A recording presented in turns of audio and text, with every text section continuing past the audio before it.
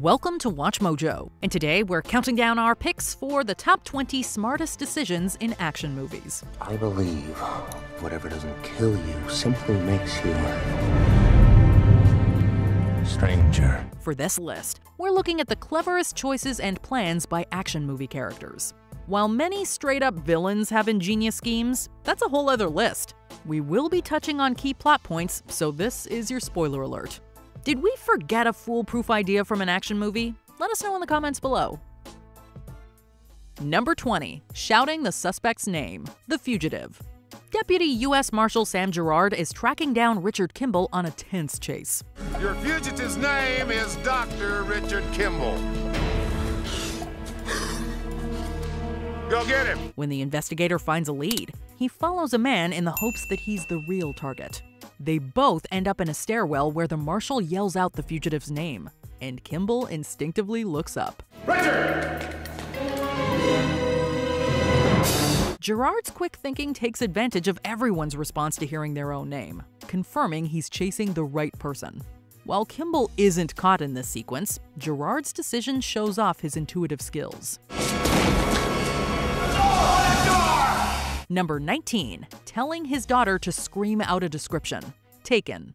Liam Neeson's tough guy persona was arguably born in this iconic sequence from Taken.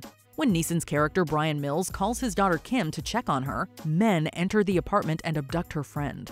An ex CIA officer, Brian realizes what's happening and tells Kim to provide him with as much information as she can as she's being taken. The next part is very important. They're going to take you. Kim, stay focused, baby. This is key. You will have five, maybe ten seconds. Very important seconds. Leave the phone on the floor. Concentrate. Shout out everything you see about them. She yells out a description before her captors get a hold of her phone. In just a few moments, the hero learns enough to track down the villain and rescue his daughter. I will look for you. I will find you. And I will kill you. Number 18. Trapping Dormammu. Doctor Strange. When Earth is threatened by the primordial entity Dormammu, Doctor Strange enters the dark dimension to stop him. Dormammu is far more powerful, but that doesn't mean he can't be outsmarted. Dormammu, I've come to bargain. Using the Eye of Agamotto, the sorcerer traps the evil entity in a time loop. Dormammu, I've come to bargain. What is happening? Dormammu kills him again and again, but Strange doesn't back down. Talk about putting it all on the line. But I could lose again and again and again and again forever. That makes you my prisoner. At last, Dormammu agrees to a bargain, pledging to leave Earth alone and never come back. Strange's decision wins him the day and saves the planet. Number 17. Using a shotgun to trick a sniper. The Bourne Identity. Pinned down by a sniper, Jason Bourne must act fast. He finds a shotgun, and his super spy senses kick into overdrive. These children, if. That's not going to happen. Using the gun, he causes an explosion that obscures the sniper's view, allowing him to change locations.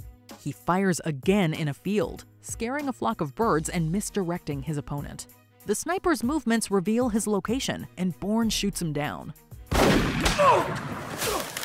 It is a cunning strategy that saves the hero's life. Clive Owen's assassin the Professor may have started out as the predator here, but the tables are quickly turned. Number 16. Sacrificing himself. Looper. In Rian Johnson's clever sci fi thriller, assassins known as loopers are sent victims from the future to execute and dispose of. When their contract ends, they're sent back in time to meet the same fate themselves. When Joe's older self is sent back in time, he manages to avoid execution. I haven't seen that yet. In order to stop old Joe from committing a horrible deed, young Joe sacrifices himself. So I changed it. This changes the timeline so that old Joe never exists, and he just disappears. It's not often that a classic genre surprises audiences with a great twist, but Rian Johnson's writing here does that and much more. Number 15. Ramming the armored truck. Heat. How do you rob an armored truck? Well, how about with another truck?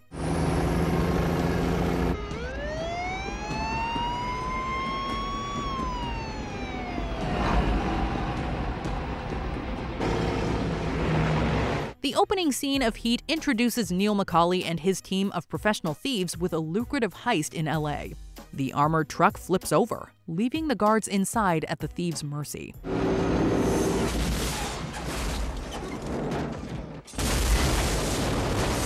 The well organized team uses explosives to blow the truck open. The guards don't have a chance as the thieves steal the bearer bonds the truck was transporting. It is a slick and brutal operation that, aside from some violent hiccups, shows just how professional these thieves are. I got it. Got it. Number 14, using a flare to distract the T Rex, Jurassic Park. There's nothing amusing about this park.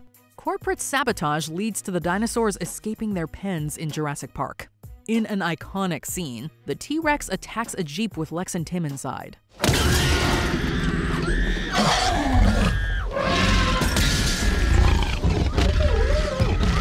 Paleontologist Alan Grant and chaotician Ian Malcolm know they have to do something.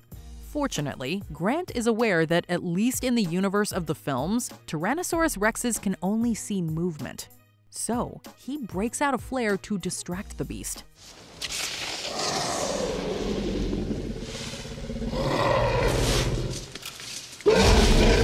Malcolm tries to do his part too, but hasn't really understood the idea. Still, it's quick thinking, and it saved the kids from being dessert. Number 13, distracting the villain with a dance off Guardians of the Galaxy. Keeping the focus on humor, writer and director James Gunn decided to subvert expectations at the end of Guardians of the Galaxy. What are you doing? Dance off, bro. Me and you. While there is a big battle, Peter Quill, aka Star Lord, challenges villain Ronan to a dance off instead of a duel. His love of music finally pays off. I'm distracting you, you big turd blossom. Ronan is distracted, giving the other Guardians enough time to destroy his Warhammer. When Stan Vincent wrote this song back in 1970, little could he have imagined it would save the world.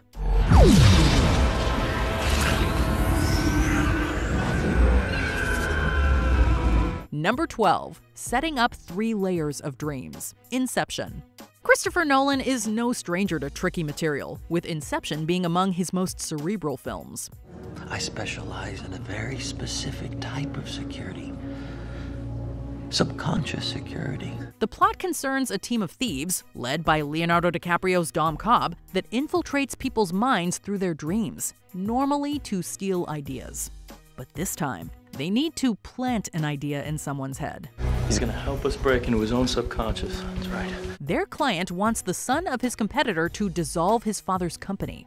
In order to fool their target and reach his subconscious, Cobb and his accomplices establish three layers of dreams dreams within dreams. The target, Robert, dreams that his father has told him to create something new, completing Cobb's plan. I know you were disappointed. I couldn't be you. No, no. No. I was disappointed that you tried. Number 11, switching Lane and Benji. Mission Impossible Fallout. You can never know who you're really talking to in the Mission Impossible franchise. Go.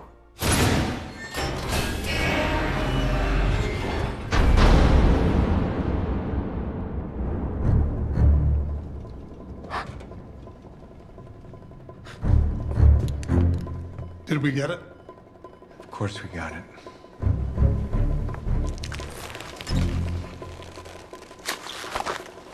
The trail of extremist John Lark, the team begins to suspect August Walker. Enough games. I'll take you out of here. Let's hunt. So, they have Benji pose as anarchist mastermind Solomon Lane. Sure enough, Walker soon spills his guts to the fake Lane. Walker was John Lark all along. The IMF is Halloween. Nothing but grown men wearing.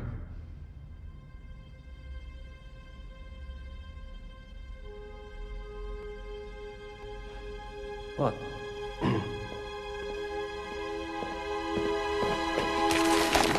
It was a devious plan, and the reveal that Lane is actually Benji in a Lane mask makes for a great twist. You'd think we would have gotten wise to all the identity swaps in the Mission Impossible films by this point, but it's a franchise that always finds new ways to surprise us. Number 10, attaching the explosive to the villain, Casino Royale. James Bond has always been a savvy hero. After sending a refueling tanker hurtling towards a prototype aircraft, freelance terrorist Carlos thinks he has Bond beat. During the struggle, however, Bond finds himself face to face with the bomb on the tanker. Carlos looks pretty smug as he prepares to detonate it, but as he soon sees, Bond has clipped the bomb to a new target. Thanks to quick thinking under pressure, Bond gets the last smirk, and Mastermind Le Chiffre is out millions. Number 9. Placing weapons in the escape route. John Wick Chapter 2. He once killed three men in a bar. With a pencil. I know, I've heard the story, sir. Pencil? He can kill with a pencil, so it's no surprise that John Wick is well prepared when crime lord Santino D'Antonio sends him to kill his own sister, Gianna. Double crossed and ambushed, John is caught in a furious gunfight during his escape, but he has a surprise of his own. He's stashed weapons and ammunition in the catacombs, just in case.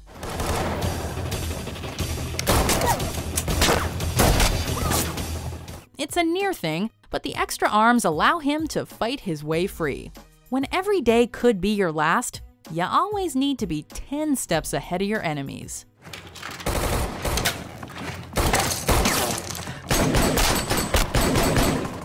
Number 8. Counting down the pen grenade. GoldenEye. A pen.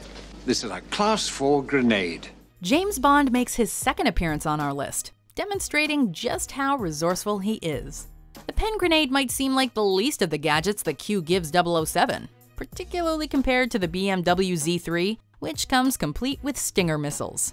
But when it comes to crunch time, the small device is surprisingly handy. As a captured Bond looks on, fidgety programmer Boris picks up the pen by accident and starts clicking away. The observant Bond bides his time, carefully counting down clicks so he knows exactly when to take action. The pen is mightier indeed. Give them to me!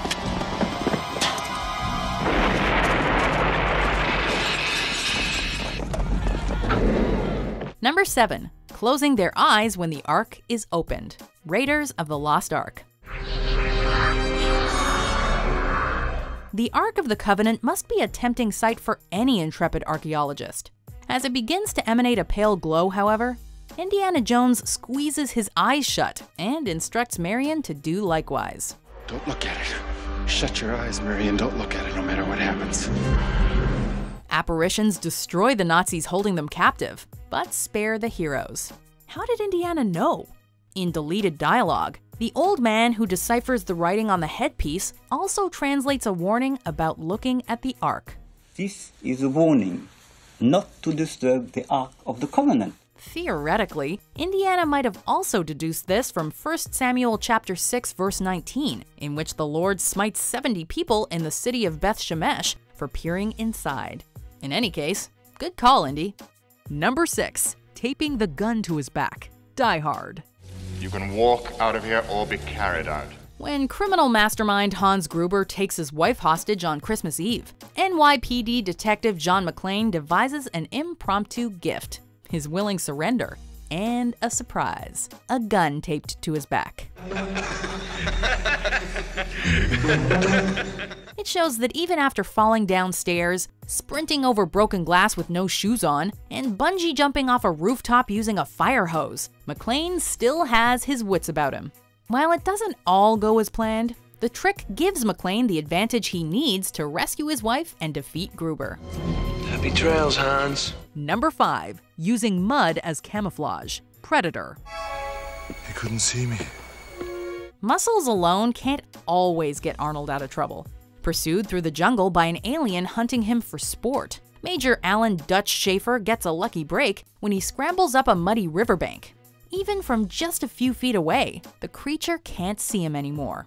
Turns out that the thick layer of mud interferes with its thermal sensor. Finding an advantage at last, Dutch covers himself in mud and summons the creature with a mighty war cry, luring it straight into an ambush.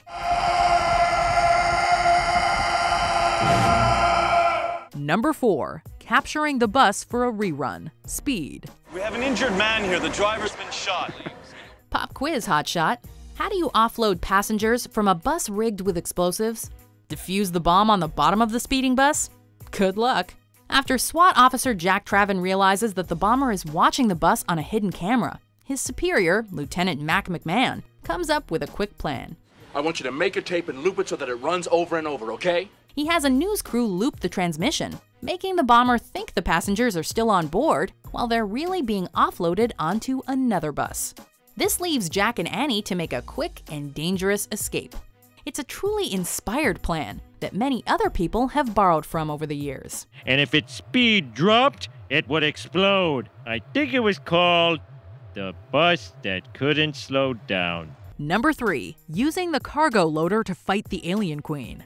Aliens. How do you go toe to toe with a xenomorph? Watch and learn. As the alien queen advances on the orphan Newt, Ripley improvises.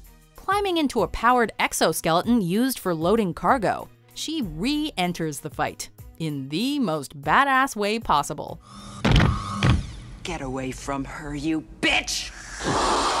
In the exosuit, Ripley is able to match the alien queen's strength and hurl her into the spaceship's airlock. From there, she's on her own, but a gamble to open the airlock while she's still inside sees the alien queen jettisoned into space.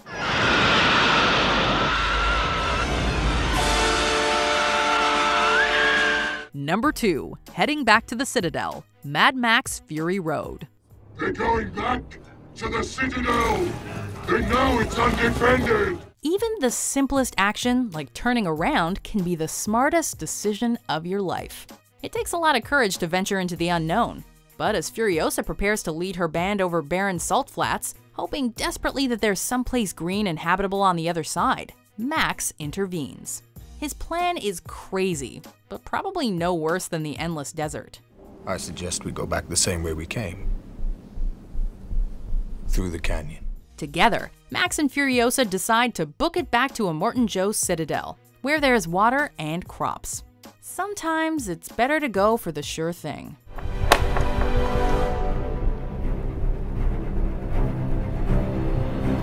Before we continue, be sure to subscribe to our channel and ring the bell to get notified about our latest videos. You have the option to be notified for occasional videos or all of them. If you're on your phone, make sure you go into your settings and switch on notifications. Number 1. Calling the dog the wrong name. Terminator 2 Judgment Day. So what's the deal? My mission is to protect you. It was brilliant to reprogram Terminators in the future to serve as protectors for humans. But the classic T-800's revealing trick on his liquid metal adversary takes the cake. If you hurry home, we can sit down and have dinner together. I'm making beef stew. Something's wrong. She's never this nice. The T-1000 is disguised as John Connor's foster mother, and when John calls home, he feels like something is not quite right. Fortunately, Arnie's quick thinking good guy robot is there to save the day. Suspecting it is the T 1000 on the other end, he impersonates John's voice and asks about the dog. But he uses the wrong name. Hey, Janelle, what's wrong with Wolfie? I can hear him barking. Is he okay? Wolfie's fine, honey. Wolfie's just fine. When the T 1000 replies with the same fake name, the jig is up. Ha! Who says the T 1000 is a more advanced model than the T 800? Still, Arnie is kinda harsh about it. Your foster parents are dead.